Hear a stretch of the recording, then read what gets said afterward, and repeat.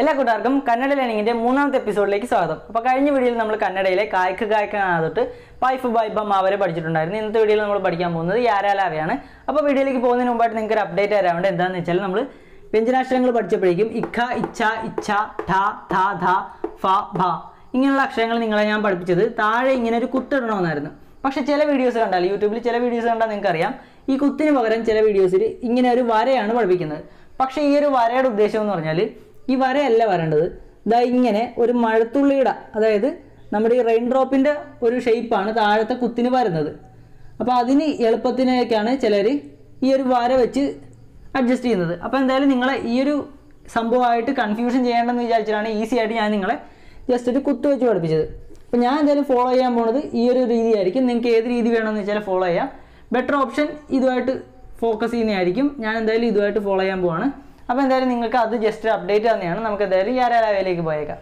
അപ്പോൾ കന്നഡയിൽ യാ എഴുതാനായിട്ട് ഇങ്ങനെ ഒരു മുട്ട ഇടുക. അത് കഴിഞ്ഞിട്ട് ഇതിങ്ങനെ മേളിലോട്ട് ഇട്ടിട്ട് മേലെ ഒരു ചിഹ്നം പിന്നെ ഒരു കർവും കൂടെ പോയാൽ മതി. യാ. ഇനി രാ എഴുതുമ്പോൾ ഇതിങ്ങനെ ഒരു മുട്ട ഇട്ടിട്ട് മേലെ നിന്ന് ഇങ്ങനെ ഒരു ചിഹ്നം പോയാൽ മതി. യാ രാ. ഇനി ലാ എഴുതുമ്പോൾ മലയാളത്തിന്റേത് പോലെ തന്നെയാണ്. അപ്പോൾ മലയാളത്തിൽ നമ്മൾ ലാ എഴുതുന്നത് ഇങ്ങനെയാണെങ്കിൽ കന്നഡയിൽ ഈ കോർണേഴ്സ് ഒന്നും ഇല്ലാണ്ട് ഡയറക്റ്റ് ആ കറവിൽ തന്നെ പോയാൽ കന്നഡയിലെ ലായായി. ഇത് യായാണ് രാ ല. ഇനി നമുക്ക് വാ എഴുതാം. വാ എഴുതുമ്പോൾ ഇതാ ഇങ്ങനെയാണ്. ജസ്റ്റ് ഇങ്ങനെ പോയിട്ട് മേലെ നിന്ന് തന്നെ ഇത് പോയാൽ മതി. വാ. ഇനി നമുക്ക് ഷാ എഴുതാം. ഷാ എഴുതുമ്പോൾ ശ്രദ്ധിക്കേണ്ട കാര്യം എന്ന് വെച്ചാൽ ഇതാ ഇങ്ങനെ പോയിട്ട് മേലെ ആ ഒരു ചിഹ്നം പോകണം ഈ ചിഹ്നം ഭയങ്കര ആണ്. കന്നഡയിലെ എല്ലാ അക്ഷരങ്ങൾക്കും അല്ലെങ്കിൽ ഒട്ടുമിക്ക വ്യഞ്ജനാക്ഷരങ്ങൾക്കും നമ്മൾ ഈ ചിഹ്നം ഉപയോഗിക്കുന്നുണ്ട്. അപ്പോൾ അടുത്ത അക്ഷരമായിട്ടുള്ള ഷാ എഴുതാനായിട്ട് ഞാൻ നിൽക്കൊരു എളുപ്പവഴി പറഞ്ഞുതരാം.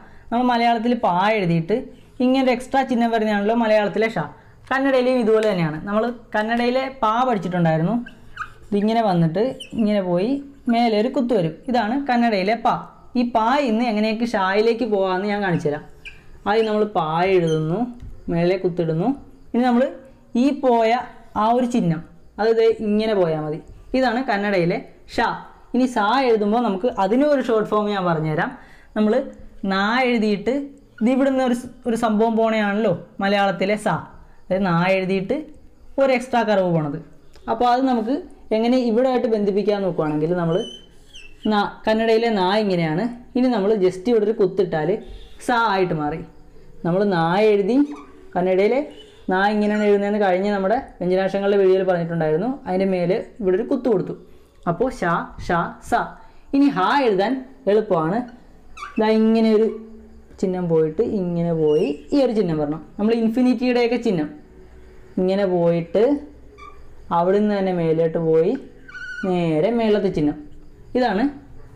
യാരാലാവ ഷാ ഷാ ഷാ ഷായാണ് പാ പോലെ വന്നിട്ട് എക്സ്ട്രാ ചിഹ്നം. അതാണ് ഇവിടെ വന്നേക്കുന്നത്. ഇത് സായാണ് നാ പോലെ വന്നിട്ട് ഒരു എക്സ്ട്രാ ചിഹ്നം. നാ പഠിച്ചിട്ടുള്ളവർക്ക് ഇത് എളുപ്പമായിരിക്കും. ഇത് ഹായാണ്.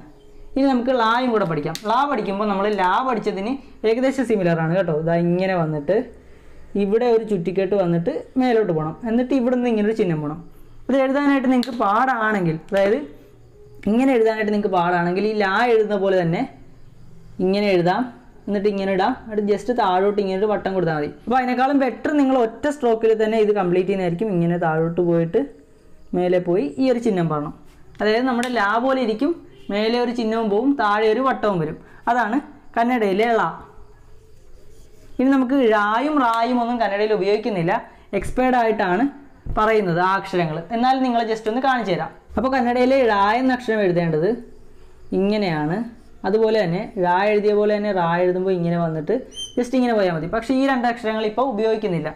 ഇത് ഴായും ഇത് റായുമാണ്. എന്നാൽ ഇത് ഉപയോഗിക്കുന്നില്ല. ഇത്ര അക്ഷരങ്ങൾ പഠിച്ചാൽ മതി നിങ്ങൾ യാരാലാവ് പഠിക്കാനായിട്ട്. അപ്പോൾ ജസ്റ്റ് ഒന്ന് ഷോർട്ടായിട്ട് നമ്മൾ റിവൈസ് ചെയ്യുകയാണെങ്കിൽ യാ എഴുതേണ്ടത് ഇങ്ങനെയാണ്. രാ എഴുതേണ്ടതും ഇത് ഈ ആദ്യത്തെ മുട്ട പോലെ വന്നിട്ട് മേലെ ചിഹ്നം പോയാൽ മതി. ലാ എഴുതുമ്പോൾ മലയാളത്തിലെ ലാ പോലെ തന്നെ കോർണേഴ്സ് വരണ്ട ആ ഒരു കർവിൽ തന്നെ പോയാൽ മതി. വാ ഷാ പിന്നെ ഷാ എഴുതുമ്പോൾ പാ പോലെ അതായത് പാ എന്ന അക്ഷരം എഴുതിയിട്ട് ജസ്റ്റ് ഒരു വര കൊടുത്താൽ മതി ഷാ ആയിട്ട് മാറി. സാ എഴുതുമ്പോൾ നാ എഴുതുന്ന പോലെ നമ്മൾ താഴത്തെ താഴത്തെ നായിലെ അക്ഷരം പഠിച്ചപ്പോൾ ഈ ഒരു കുത്തില്ലെങ്കിൽ ഇത് നാ ആയനെ ജസ്റ്റ് കുത്തും കൂടി ഇട്ടപ്പോൾ സാ ആയിട്ട് മാറി. ഹാ എഴുതേണ്ട ഇൻഫിനിറ്റിയുടെ ചിഹ്നം ഇട്ടിട്ട് മേലെ ആ ഒരു ചിഹ്നം പോകണം അപ്പോൾ അതുപോലെ തന്നെ ലാ എഴുതുന്ന പോലെ തന്നെയാണ് ലായും വരേണ്ടത്. ജസ്റ്റ് താഴെ ഒരു കർവ് വരും.